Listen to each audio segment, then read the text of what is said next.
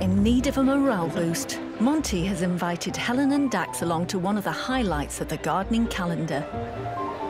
As a lifetime first for both of us, we find ourselves at the Chelsea Flower Show. Which is extraordinary. Yeah. It's huge. I've wanted to come for years.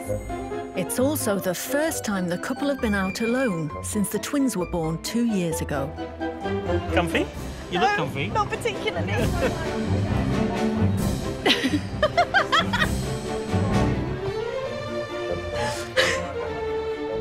yeah. Yep, gonna get one one of of those. It's a visual feast with over 500 exhibits of show gardens, artisan crafts, and award winning flowers to explore. So it's lucky there's a friendly face to show them around. Hello. How are you? How's Wonderful. it going? Nice to see you. Nice to see well. you. Haven't got long, I'm afraid, but I've got some things to show you that I think will help. So if you're happy, let's go and have a look. All right. Come on. Monty takes Helen and Dax to view a garden created especially for Great Ormond Street Children's Hospital. Designer Chris Beardshaw has created a calm, restorative space using simple planting in deep borders. What here makes you think again about your garden? I think there are a couple of things, like they're a combination of plants that I wouldn't have thought would go together, and of course they do. They're really stunning. So it's a real eye-opener in that respect. And also the, the height levels. Do you know what it's actually doing while I'm looking at this? Is thinking, why don't we just ditch that whole grasses idea at the back when you can have planting like this in that I'm space? so glad you Was that the point? because that, I'm just like, well, why don't we just do this? It's beautiful. The most important thing is simplify.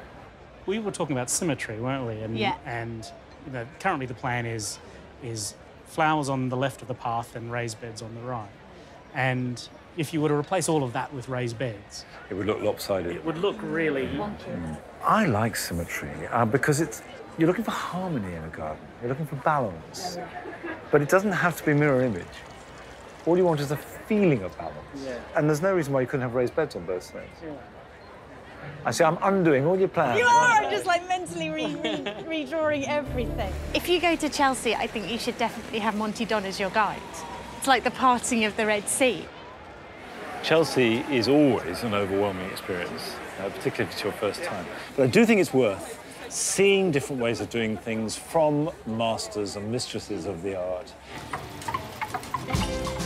One of the key takeouts has been just this idea of simplicity. Like, you don't need to do everything. All of the design work that we've done so far, I think we need to go back and ask ourselves, could this be simpler? Yeah. Because if it can be simpler, I think that would make it better.